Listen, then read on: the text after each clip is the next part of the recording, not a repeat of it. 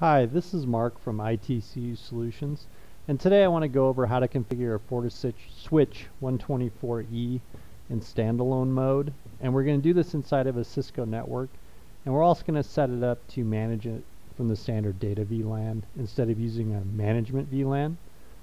Um, and so our configuration as you see here in the lab is that basically I have a Cisco 1941 router uh, that has the 10221 gateway on it the interface also has a secondary interface for 192.168.1.1 and that will allow us to connect originally with the uh, FortiSwitch because the FortiSwitch by default has an IP address of 192.168.1.99.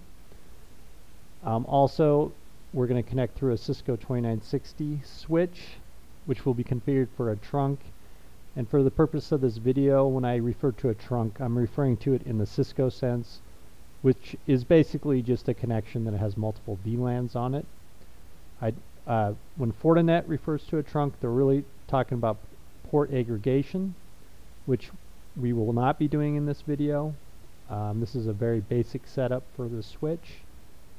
And so that's basically what the lab looks like. And these will be the IPs when we eventually get the Fortinet configured, the management IP, IP will be set to 10.2.2.4, which will be on my data net VLAN, which will be VLAN 3. So let's get started. Uh, the first three tasks we're going to do is we're going to change the host name. We're going to change this, the management IP to 10.2.2.4, which will be on my VLAN 3, my lab VLAN 3 and we're going to add some v, a couple VLANs to the VLAN database, namely a data and a voice VLAN. And the way we do this is we open up a browser, and you're just going to type in https colon slash 192.168.1.99. That is the default IP of the FortiSwitch, and that will pop up your login screen and the default username is just admin. Whoops. And the default password is blank. And when you go to log in it will make you add a password because blank doesn't meet the password requirements. So I'll add a simple password for the lab.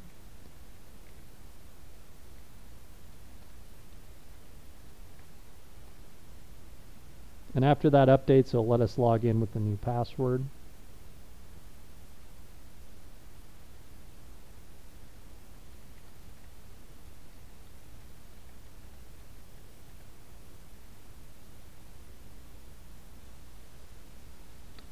Now in the newer versions of FortiSwitch, it will bring you to the dashboard.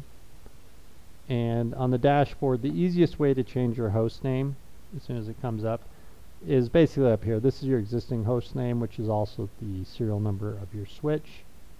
Just click on that. I'm just going to call mine new switch to keep it simple. So we'll update that. And the next thing we're going to do, we're just going to go to network interfaces physical. And on FortiSwitch, the management interface is called internal. Um, I didn't expect this to happen, but I forgot. I'm running a DHCP pool on my server in VLAN 3. And since by default the interfaces on the FortiSwitch are set up to pull a DHCP address, this came up from my DHCP pool. But since this is a network device, we always set those statically. So we'll go in and edit this. And we're going to change it to static. We're going to change this to dot .4. And we're also going to do just a class C network. And I'm also going to add telnet for testing later on. So I can, it just makes it easier for me to access it over a management connection. So we'll add this.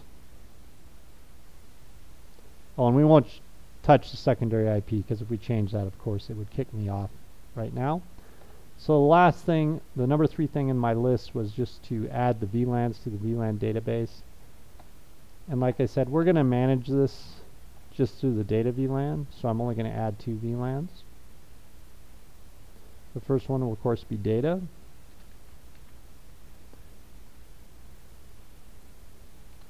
Okay, next. And we're not going to worry about the rest of this configuration because I'm not going to be using this as a, a layer 3 switch in any way. So we don't have to worry about adding a VIPs to each interface because we're not going to be route using this for routing. We're just going to use it as a standard layer 2. So we can ignore the rest of this stuff and just add this VLAN to the database and the management IP and we'll add a second I mean the management interface and we'll add a second VLAN and we're just going to call it voice. And we're just going to use VLAN 4 for the voice VLAN. Same thing here we don't have to worry about it in this. So we're going to just add that. So now we have the host name changed. We have changed the management IP on the box and we've added our VLANs that we're going to use on this switch into the VLAN database. And if we go back to our diagram, the next thing we're going to do is we're just going to add the default route. This is strictly going to be used for management because like I said, we're not going to use this as a layer 3 device in any way. So, but we do need to add this so we can manage the switch off of its existing subnet.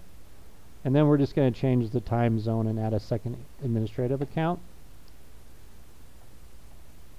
So let's go down to router, config, and you can see I can add static routes if I did want to use this as a layer, layer 3 device. In this case, we're just going to add our default route. And the ID in this case doesn't matter because we're not going to be doing any type of route selection because we're only using it as a default route. And we're doing it on our data VLAN, so the Gateway address on that is just going to be 10221 and I'm going to add this. Okay, so now we have our default route. Excuse me, the next thing we're going to do is we're just going to go up to system. We're going to go to config and we are just going to change the time zone here. And the reason I'm only changing the time zone is you can see I do get a correct current time coming up. Um, that's because my NTP server is already working because I allow NTP out my firewall, so it's just hitting the Fortinet NTP server. In your case, you might want to change this if you don't allow NTP out your firewall. If your time server is like your local router, you might have to put your gateway address in here or whatever time servers that you use. In my case, all I have to do is change that default route to the time zone. I mean the the time the time zone default time zone to the time zone I'm in and I'm going to update that. And it will log me off when it does this. That's okay. We'll just log back in. Anytime you change the time.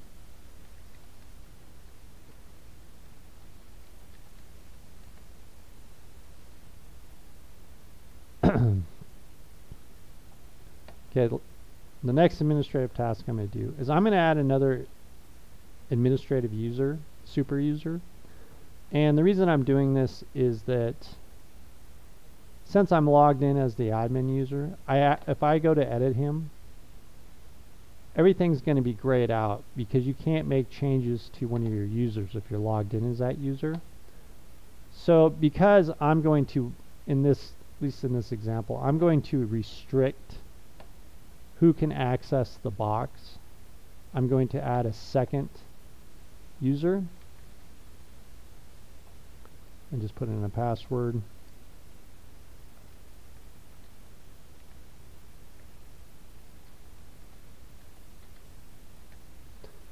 And I'm going to make him a super user.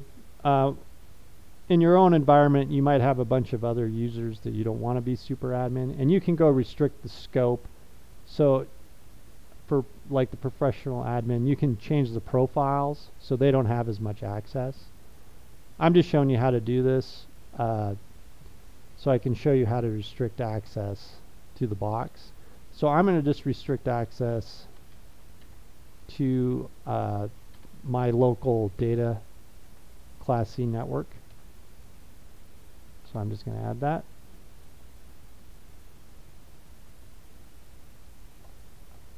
And so you can see that my new super admin here is restricted only to the class C of my data network, which is where we're going to manage this guy from.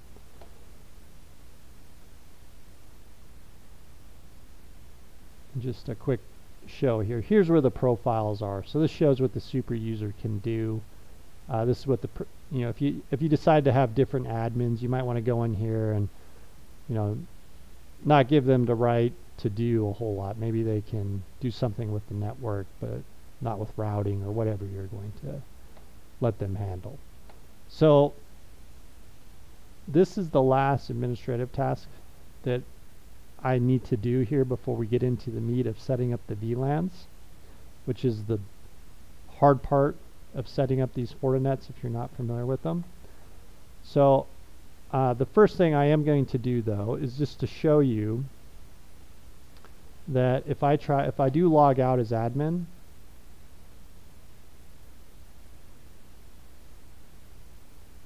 and I try to log in as Mark, my other super user, it will not allow me to do it because again I'm on the 192.168.1.99 network. So what I'm going to do is I'm going to pause the video and change my NIC to the 10.2.2 network and you'll see the reason I can do do that is because my router, our data network in this case, is actually the 10.2.2 network but there's a secondary address on the switch that allowed me to log in as the 192.168 network to manage the Fortinet for now. So again, I'm just going to pause the video and change my NIC and I'm going to log back in on the 10.2.2 network. Okay, I just got done changing my NIC card uh, to be on the 10.2.2 network and I've gone up here and changed my URL to 10.2.2.4 so I can log in. And now I should be able to log in as Mark because I am allowed to log in on the 10.2.2 network. So let's do that real quick. There's no restriction for this. And this also means I could go into my admin user now and also restrict him if I wanted to. Okay, so I could come in here. He should now be, see now I can restrict him. I'm not going to bother to do that, but that's what you normally would want to do in this case. Okay, so now this is going to be a little uh, trickier. So the next thing we're going to do is we're going to start assigning VLANs to our physical ports. And as you can see in our diagram, our port 1 is going to be our trunk, which is going to connect to port 2 on the 20, 2960, which is already set up as a trunk. To, and that trunk is set up to allow VLANs 1, 3, and 4. So in this case, since Fortinet doesn't use that terminology, I'm going to start switching to tagged and untagged terminology. That's what Fortinet would use. So in this case, we're going to set up, as you can see over here, we're going to use our native VLAN is 1. And then we're also going to um, set up VLANs 3 and 4 as tagged across this trunk. Because a, a tagged, tagged in Cisco speak is, is the same as trunk. You know, basically when you send something to Cisco, that just means it has VLAN tags on it. Nothing should be untagged. If it is untagged, it will get forwarded to the to the native VLAN. So let's go uh, start assigning ports to our interfaces. Okay, so to do that, we'll go down to switch, hopefully.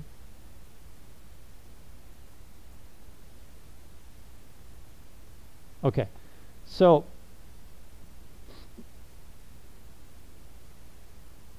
for my trunk, what I'm going to do, and I'll come back to this guy as soon as he pops up here. Okay, so I'm going to leave the native VLAN for the trunk as 1 because the native VLAN, and for other reasons, on my Cisco device is 1. But I do need to allow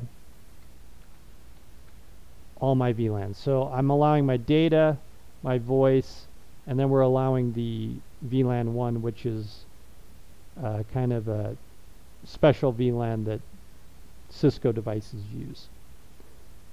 Okay. We're not going to worry about untake because this is trunked. Okay, so I'm also, this is, we're going to leave spanning tree on, but this isn't an edge port, so we don't have to worry about uh, BPDU Guard.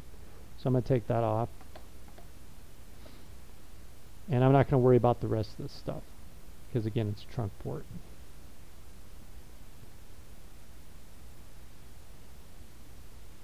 Okay. Now, for the rest of these, I'm going to come in here and I'm just going to select all these.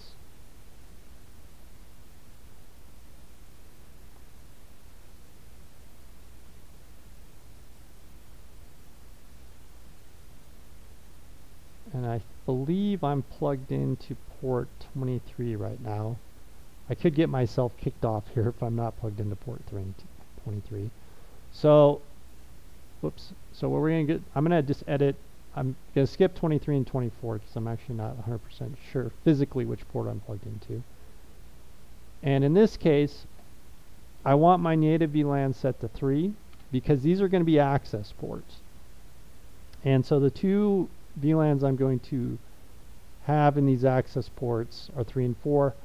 3 is going to be my data VLAN, 4 is the voice, 4 is going to become, is since it's voice, will show up as a tagged, will be tagged traffic. 3 we want to be untagged. Now the way Fortinet works is whatever you set up as your native VLAN, that means any traffic that comes in untagged gets forwarded to the native VLAN, which is basically true across every network manufacturer out there, will get forwarded into that VLAN. So in my case, if I have a computer set up and it sends untagged traffic to these ports, it'll get forwarded over to the, the native VLAN.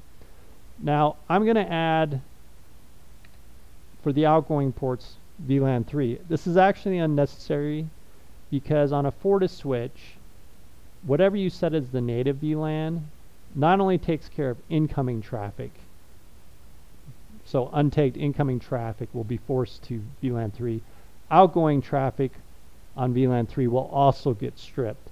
I just add this just to keep it easy for me because in theory if I had other VLANs like 5 and 6 maybe I was using for cameras or some something I don't know cameras wouldn't make sense because you take them but something that needed to be the tag stripped off I could add those VLANs here. And so that traffic that left uh, you could strip the tags now you can have multiple VLANs when you leave that are untagged because they can get to their destination via IP. The problem is you can only have one native VLAN because if traffic comes in, there'd be no way for the switch to know which VLAN to forward it onto. So this is what we're going to do for all effectively what in Cisco world would be access ports. This is the way we're going to set them up. Set them up. Again, this basically means the native VLAN is 3, so untagged traffic, just like an access port, is going to go to the 3 ingoing and outgoing. And we're also going to allow tag ports 4 coming from my phones. Okay. And I'm not going to worry about the rest of this stuff because I'm not going to do any QoS policy. I'm going to push that out to the phones later on. Okay, so we're going to click OK. Hopefully, if I'm not plugged into one of these ports, it will configure this for us.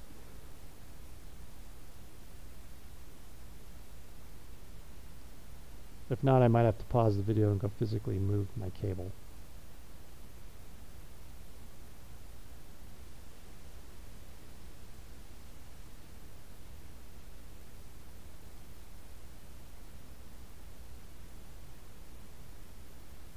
Oh shoot. Okay.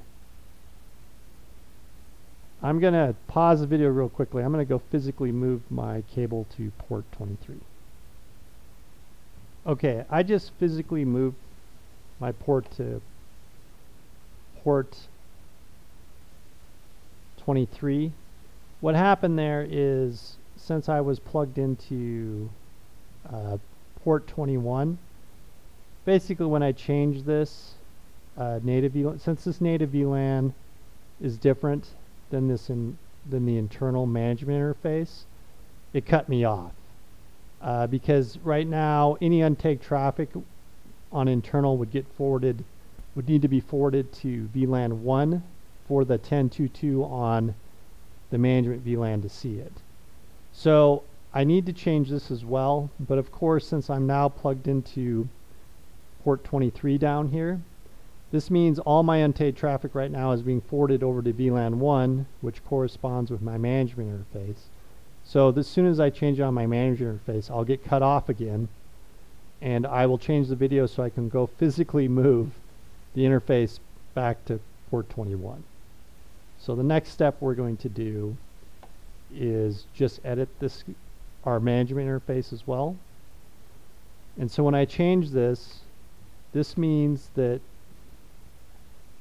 any traffic that comes from an untagged device like the computer, because right now I'm plugged into one of these computers, but I'm plugged into port, physical port 23, whose native VLAN now is 3. Since that's different, the reason I got cut off is that was different than the internal interface, which is my management interface, which now I'm moving to 3 which will effectively move that 10224 network up here onto VLAN 3. But that's going to cut me off as well. So I'm going to click OK, and it will fill. Oh, wait. It, hmm, that's interesting. Okay, so. Oh, I see. Okay. So I'm in good shape anyways. Uh, not quite sure.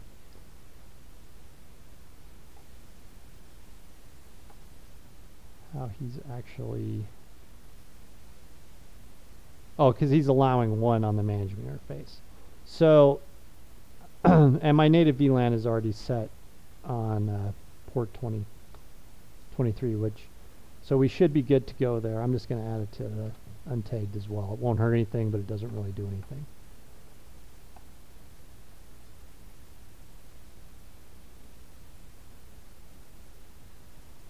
And I'm going to do it for port 24 as well, just for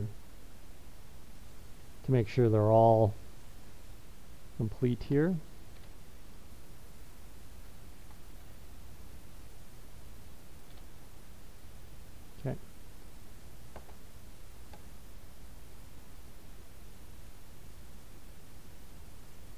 Okay, so you see now I have my trunk set up where my native VLAN is 1.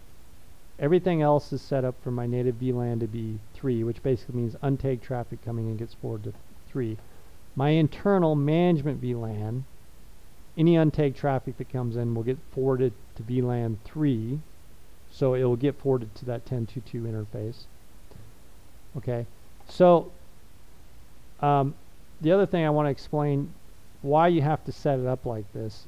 And you can't come in here and change this port, for example, to a native VLAN 3, like maybe you think you can. That will break things unless you go on to the Cisco switch itself and also change the native VLAN to 3. And let me explain why. Is that the reason you have to set it up this way is that if I came into this physical port here and only on the Fortinet did I add that native VLAN 3, when I had traffic leaving on my data VLAN, which is VLAN 3, it would untag it. And so when this traffic leaves and it hits the Cisco, it'll be untagged. The Cisco will forward it over to VLAN 1, which effectively just broke my network. Because VLAN 1 isn't the 10 to, isn't the data network. It's basically just gone off in the ether and there's no way for it to come back.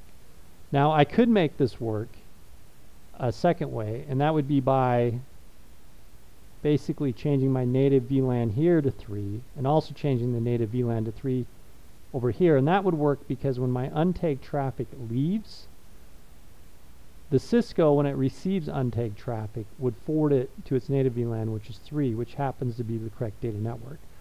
Uh, I wouldn't do that in this situation because it gets a little more confusing because, at least in this case, kind of the way traditional Cisco network works, you don't really want um, untagged traffic flowing across your trunks. So in our case, I, in this case, I think you're best off just leaving things native VLAN VLAN 1 and allowing port 3 and 4 to be tagged traffic just like you would expect if you're going Cisco switch to Cisco switch. So this should be effectively set up the way you your default Cisco switch switches would work. And that's why I would recommend keeping it set up like this. And just to verify what I'm telling you works after you've seen this setup, um, before we go in and talk about the phones, if I go in here and I ping out to Google now, whoops, and if I use periods instead of commas, that works. I should be able to ping my gateway, which is on the router, which is going across that trunk, right? And I should also be able to, obviously I can ping my management interface because I'm still able to manage it across there. And if I log into my router,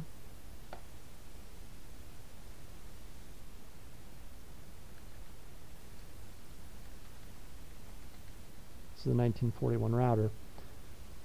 If I telnet off of the port, which will automatically use as the source interface 10221, I should be able to do this.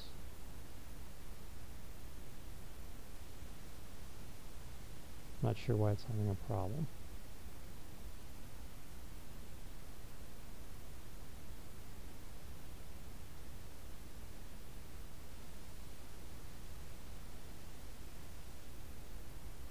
Hmm.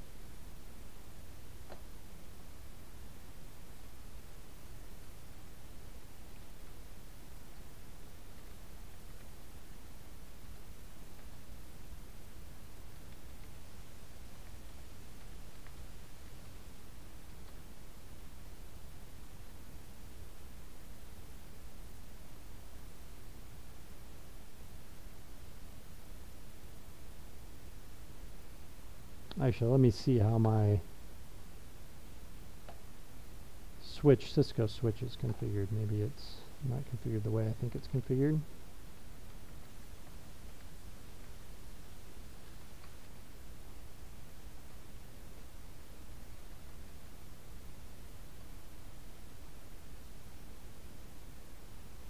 Cisco mode truck. Oh, that's why. Uh, so what's going on the reason this is failing is this isn't configured the way I thought it was configured. But since I have VLAN 3 set up over here, literally he's uh, sort of would work because when I'm sending traffic back, he's untagging it. But the management, it works for everything else except the management VLAN because the management VLAN, I mean the the port when it comes across here, it's sending the management, like if I'm trying to send my traffic back from VLAN 3, it's actually going, it's being sent to VLAN 1 because that's my native VLAN, because this is untagging it on the way out. So on the Cisco side, I just need to change this. Oh no, wait, that should, yeah, we just need to change this guy to native VLAN to 1 so that that data traffic coming back uh, will not, let's see here, do I have the ping set up now?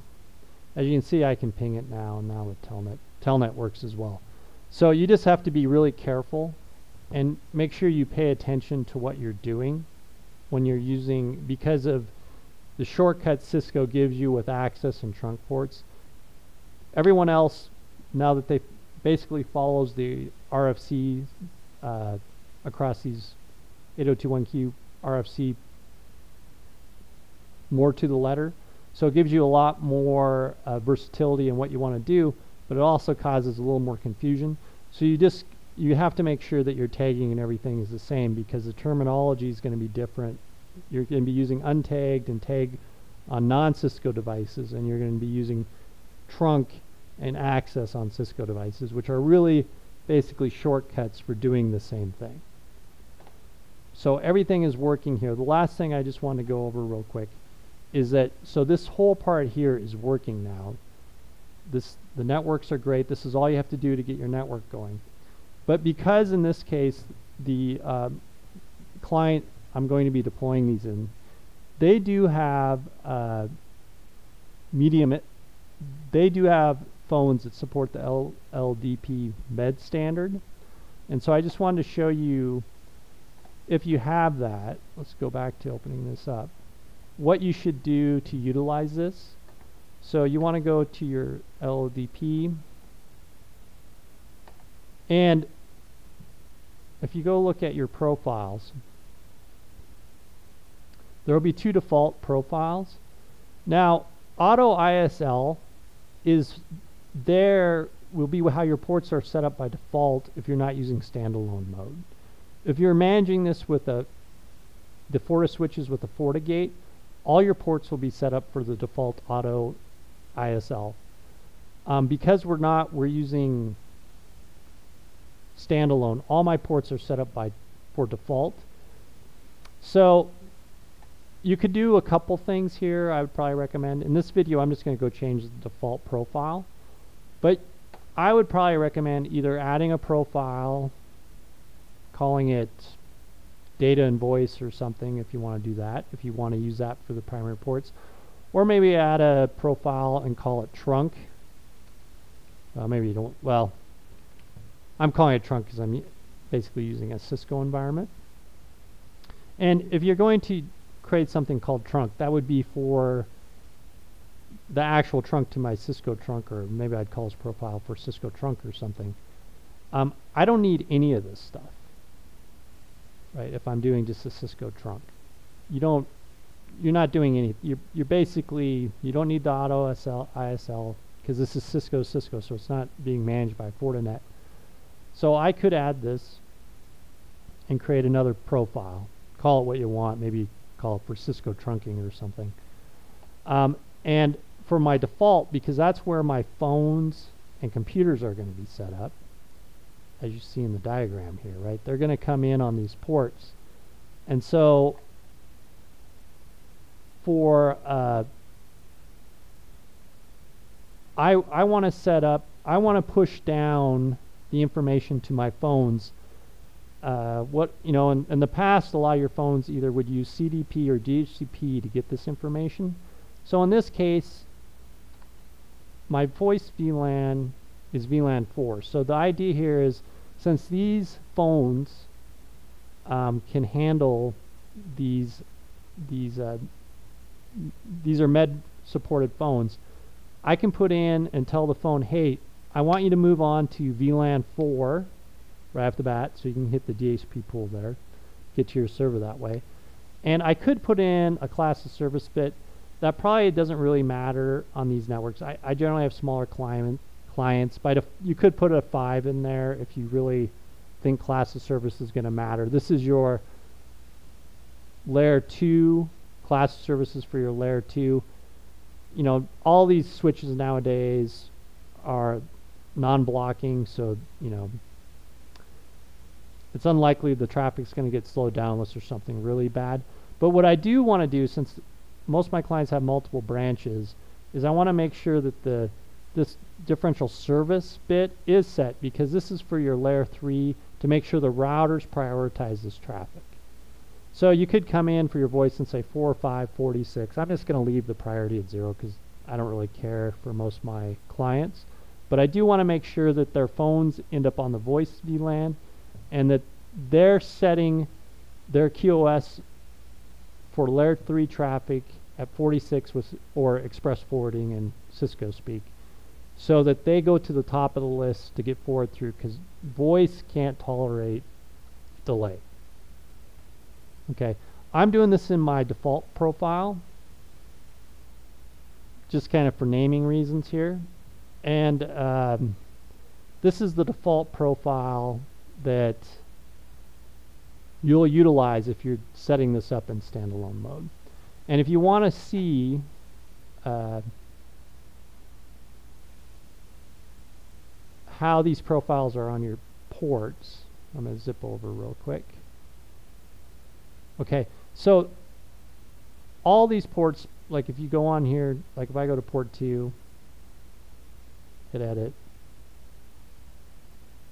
So if you did switch to something like, you know, phone computers or something, you, uh, you create a new profile or something like that, you'd want to come in here and change that here. Okay.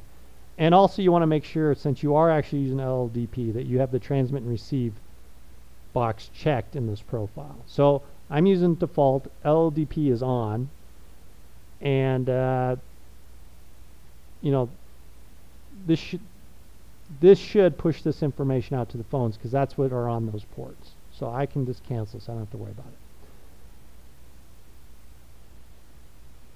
Now for my port 1, okay, this is my trunk port. So I don't care about all this voice stuff, right? I don't care about um, this stuff. So I'll just change my profile to trunk, okay? Now, I still might want to use LDP, although from my understanding of Fortinet is it will use CDP if the LLDP doesn't work. Uh, so you still might want to have your LLDP on so you can talk to the router, but you don't need the profile to do that. Okay. And, and probably the best thing is since we're using Cisco, instead of trying to rely on using Cisco CDP, I would just go change the port on the Cisco part side to use LLDP for this one dev device. If that's not possible and you have a ton of Cisco devices, then hopefully Fortinet can communicate with CDP or you're just not going to be able to see it in that way. So we'll update that.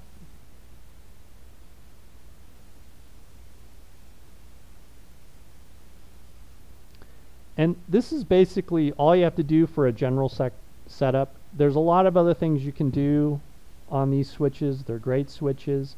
And I just want to do a video because I'm assuming a lot of people are trying to install these in Cisco environments. And you might not have the components to manage them with another FortiGate, uh, which a lot of my clients do not. But you're kind of stuck in this situation where you don't want to move to enterprise Cisco switches. They're expensive and you don't necessarily want to use a Cisco small business. So Fortinet is a great product that's kind of in between. I have a lot of clients that are also going to HPE for other other re similar reasons, but this is a great switch. It you just kind of have to get your head around, especially if you're kind of an older guy like me who came up on Cisco, that the terminology has changed, and you got to remember Cisco adds when they do access and trunk, it's basically like a shortcut you just have to make sure that you pay attention to your tag and untag traffic and you'll be fine using these switches They're great. We've rarely had problems with them and they really are uh, very good switches. I hope this video was helpful and if anyone has any questions I do once in a while go look at the, the bottom and if I do see a question I'll try to answer it. I'm not the best at doing that but if if I do see a question I'll try to answer it and if you have if you think I made some mistakes in the way I'm doing this. This is the way we we've been doing this, and it seems to work pretty well. But there's always better ways to do things. So I appreciate your time. Have a great day. Thank you.